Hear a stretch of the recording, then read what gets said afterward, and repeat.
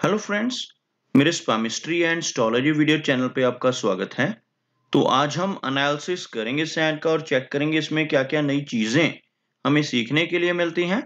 तो as usual शुरू करूँगा फिंगर्स के एनालिसिस से, उसके बाद चेक करेंगे फिंगर्स की सेटिंग को एंड माउंट्स को, और सबसे लास्ट में हम चेक करेंगे लाइन्स को। इस तरह से पूरे हैंड का जो एनालिसिस है हम कंप्लीट करेंगे। तो चलिए मैं शुरू करने जा रहा हूँ साथ साथ ड्रॉ करता जाऊँगा आपके लिए ताकि आपको समझने में कोई दिक्कत ना हो। दोस्तों, वीडियो शुरू करने से पहले आपको बताना चाहूँगा, यह जो नंबर आपको आपकी स्क्रीन के ऊपर नज़र आ रहा है, यह मेरा व्हाट्सएप नंबर है। अगर आप भी अपने हाथ की वीडियो बनवाना चाहते हैं या फ़ोन कंसल्टेशन लेना चाहते हैं तो आप हमें इस नंबर पर व्हाट्सएप के ज़रिए, सिग्नल के ज़रिए या फिर टेलीग्राम के ज़रिए मैसेज सेंड कर सकते हैं। यहाँ पर आप देख सकते हैं, इनकी जो हथेली है, कुछ इस तरह से एक कंप्लीट स्क्वायर शेप बनाती हुई नज़र आ रही है, जो इंडिकेट करती है एक हार्डवर्किंग टाइप की नेचर को। और अगर हम इनकी फिंगर्स को चेक करें तो यहाँ पर आप देख सकते हैं, काफ़ी थिक फिंगर्स हैं और मीडियम लेंथ में इनकी फिंगर्स नज़र आ रही हैं। और फिंगर्स के ऊपर काफ़ी सारी बारीक सीधी खड़ी रेखाएँ, इस तरह की रेखाएँ आपको नज़र आ रही होंगी। ऐसी रेखाओं का होना काफ़ी पॉजिटिव माना जाता है ऐसे नेटिव जिनकी सभी फिंगर्स पर ऐसी रेखाएँ मौजूद हों। एक मिलनसार स्वभाव के होते हैं, दूसरों के साथ बहुत अच्छे से तहजीब से पेश आने वाली नेचर इनकी रहती है। और अगर हम फिंगर्स की थिकनेस की बात करें तो अच्छी थिकनेस में फिंगर्स का होना इंडिकेट करता है कि नेटिव की एनर्जी एंड स्टेमिना काफ़ी अच्छा रहने वाला है। फिंगर्स की लंबाई की बात करें तो आप देखेंगे यहाँ पर शनि फिंगर काफ़ी अच्छी लेंथ में है। शनि फिंगर का अच्छी लंबाई में होना, थिक होना दर्शाता है कि ऐसे नेटिव काफ़ी मेहनती नेचर के रहने वाले होते हैं और अपनी, इन्हीं खूबियों की वजह से, अपनी हार्डवर्किंग नेचर अपनी डिसिप्लिन की वजह से ही लाइफ में अच्छी तरक्की कर पाने में ऐसे व्यक्ति कामयाब हो जाते हैं। अगर हम बात करें इनकी इंडेक्स फिंगर की तो आप यहाँ पर देखेंगे, यह फिंगर काफ़ी थिक और अच्छी लंबाई में है और सूर्य फिंगर के मुकाबले अगर देखा जाए तो यह फिंगर थोड़ी सी ज़्यादा लेंथ में नज़र आ रही है। जब भी इंडेक्स फिंगर अच्छी लंबाई में हो तो ऐसे नेटिव स्पिरिचुअल माइंडेड होते हैं। काफ़ी अच्छी लीडरशिप क्वालिटीज भी ऐसे व्यक्ति के भीतर रहती हैं। बृहस्पति फिंगर का अच्छी लंबाई में होना नेटिव को ज्ञानवान बनाता है, और यही खूबियाँ रहती हैं कि ऐसा व्यक्ति समाज में काफ़ी अच्छा मान सम्मान पाने में कामयाब हो जाता है। अगर हम बात करें इनकी सूर्य फिंगर की तो यहाँ पर बेशक सूर्य फिंगर इनकी गुरु फिंगर के मुकाबले थोड़ी सी शॉर्ट ज़रूर है, लेकिन वीक बिल्कुल भी नहीं है। यह फिंगर भी अच्छी लंबाई में नज़र आ रही है, जिसकी वजह से नेटिव की क्रिएटिविटी का लेवल अच्छा रहता है। ऐसे नेटिव एक बहुत अच्छा सोशल सर्कल बना पाने में भी कामयाब हो जाते हैं। ओवरऑल इस फिंगर का ज़्यादा लंबाई में होना नेटिव को कई बार परेशानियों में डालता है। अगर यह फिंगर बृहस्पति फिंगर से ज़्यादा लंबी हो तो नेटिव रिस्क टेकर हो सकता है। तो यहाँ पर एक अच्छी स्थिति में इनकी सूर्य फिंगर नज़र आ रही है। बात करते हैं इनकी मरकरी फिंगर की। तो आप यहाँ पर देखेंगे, मरकरी फिंगर यहाँ पर अच्छी लेंथ में है और सूर्य फिंगर का जो टॉप फैलेंज है, वहाँ तक पहुँचती हुई नज़र आ रही है। इस फिंगर का अच्छी लंबाई में होना दर्शाता है कि नेटिव के कम्युनिकेशन स्किल्स काफ़ी बेहतर रहेंगे।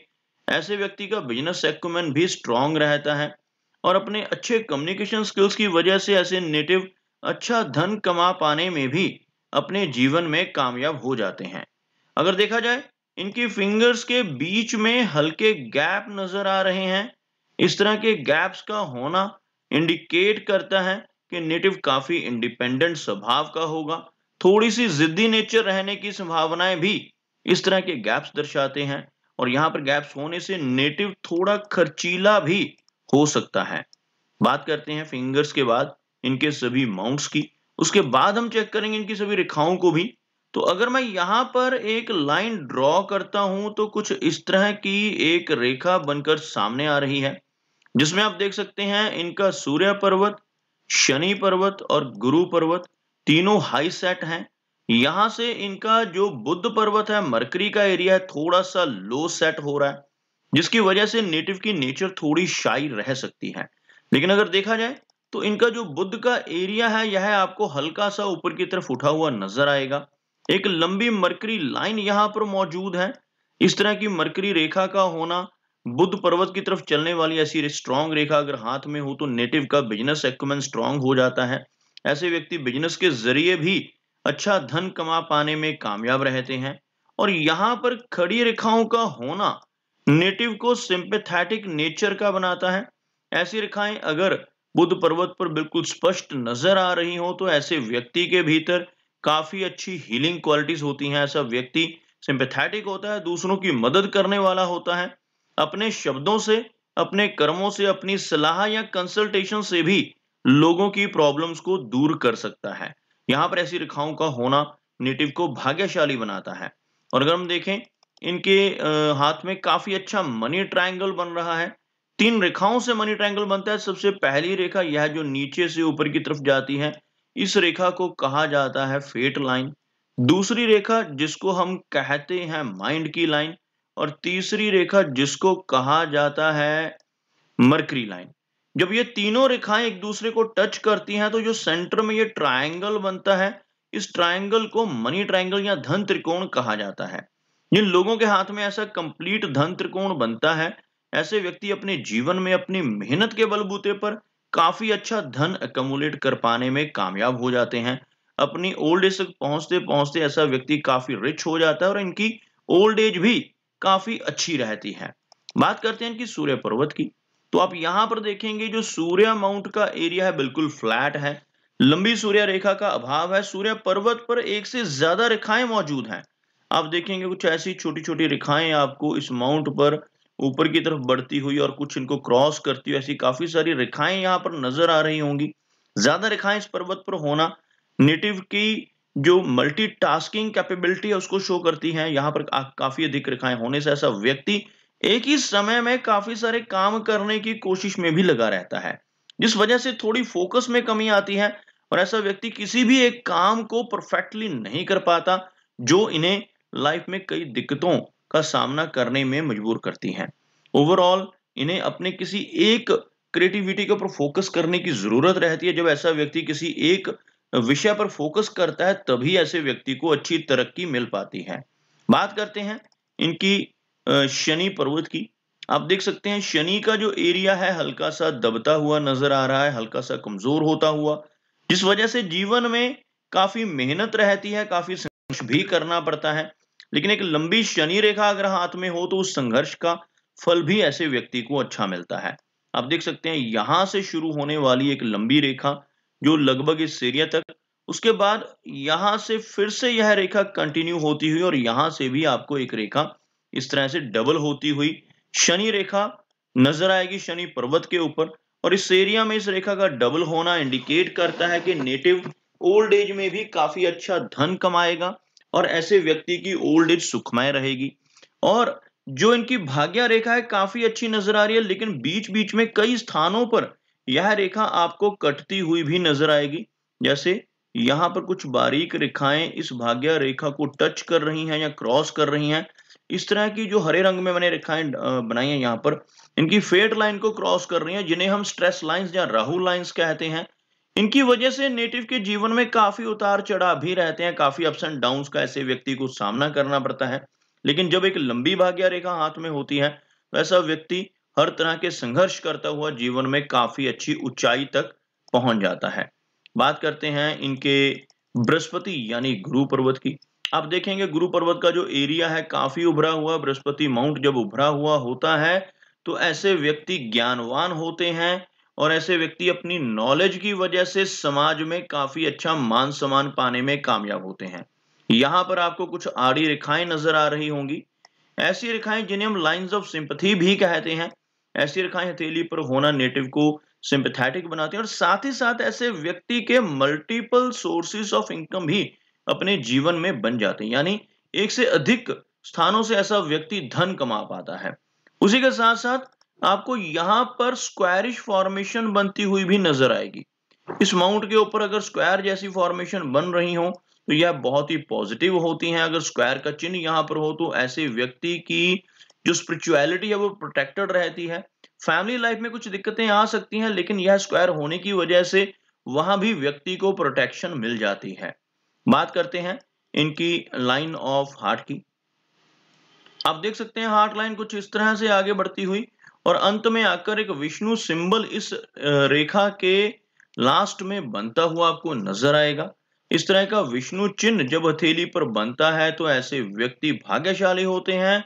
अपनी लाइफ में अगर ऐसा व्यक्ति ईमानदारी से काम करता रहे तो बहुत अच्छी तरक्की प्राप्त करता है। लेकिन अगर ऐसा नेटिव जिसके हाथ पर विष्णु चिन्ह हो, गलत रास्ते पर चलकर धन कमाने की कोशिश करे, तब जीवन में बहुत सारी दिक्कतों का सामना भी ऐसे व्यक्ति को करना पड़ सकता है। ओवरऑल इनकी हार्ट लाइन काफ़ी अच्छी है कर्व्ड हार्ट लाइन है, जिस वजह से हार्ट की हेल्थ अच्छी रहेगी। थोड़ी इमोशनल और केयरिंग टाइप की नेचर ऐसे नेटिव की देखी जा सकती है। अगर हम माइंड लाइन की बात करें तो एक लंबी मस्तिष्क रेखा इनकी हथेली में, जो यहाँ पर अच्छी मेमोरी को इंडिकेट करती है, लेकिन साथ ही साथ यह रेखा जगह जगह से आपको स्ट्रेस लाइंस की वजह से वीक होती भी नज़र आएगी, जिस वजह से इन्हें लाइफ में थोड़ा स्ट्रेस भी रहेगा। बात करते हैं इनकी line of mind line of life की। आप यहाँ पर देखेंगे लाइफ लाइन यहाँ से शुरू होकर बिल्कुल अंत तक पहुँचती हुई, जो लगभग 80 यानी कि 80 वर्ष की एज को इंडिकेट करती है।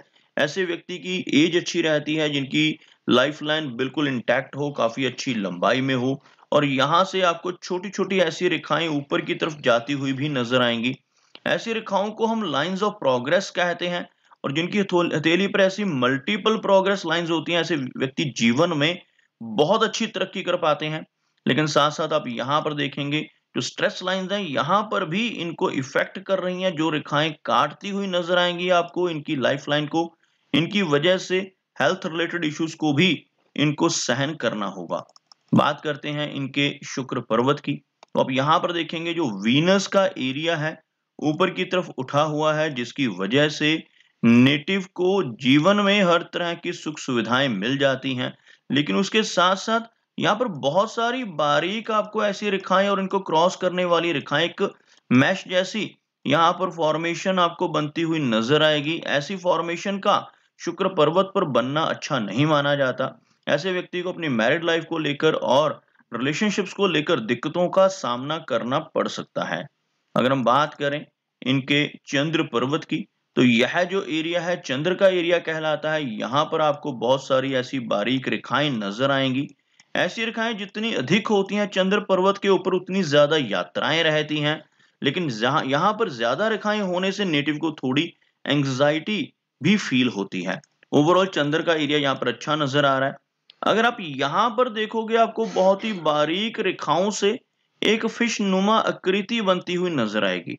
यह जो एरिया रहता है, केतु का एरिया है और यहाँ पर अगर मछली का चिन्ह बने तो यह बहुत ही भाग्यशाली होता है। ऐसे व्यक्ति विदेश यात्राएँ करते हैं। ऐसे व्यक्ति को जीवन में कई बार अचानक धन लाभ होते हैं इनहेरिटेड प्रॉपर्टी मिलने की संभावनाएँ भी इस तरह का फ़िश का सिंबल देता है। यह चिन्ह व्यक्ति को काफ़ी लकी बनाता है और एक तरह से विपरीत राजयोग की तरह काम करता है। ऐसा चिन्ह होने से नेटिव को जीवन में कई बार सडन वेल्थ गेन्स और इनहेरिटेंस मिलने की संभावनाएँ बढ़ जाती हैं। तो दोस्तों, ये कुछ एनालिसिस थे इनके हैंड के बारे में और मेरी कोशिश यही रहती है कि सभी सवालों के जवाब एक ही वीडियो के थ्रू दे पाऊँ, लेकिन फिर भी कोई ना कोई चिन्ह या सवाल रह जाता है तो इनसे रिक्वेस्ट है कि अगर इनका कोई क्वेश्चन पेंडिंग है तो मुझे व्हाट्सएप पे मैसेज करें। मेरा वीडियो वॉच करने के लिए आपका बहुत बहुत धन्यवाद।